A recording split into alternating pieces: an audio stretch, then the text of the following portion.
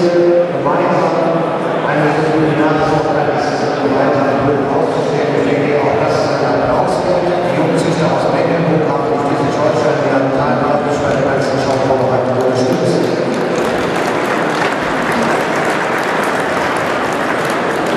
Ich möchte